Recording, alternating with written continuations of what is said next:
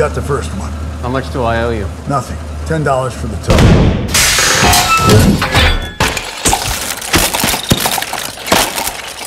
What's that? What, what's that? I don't know.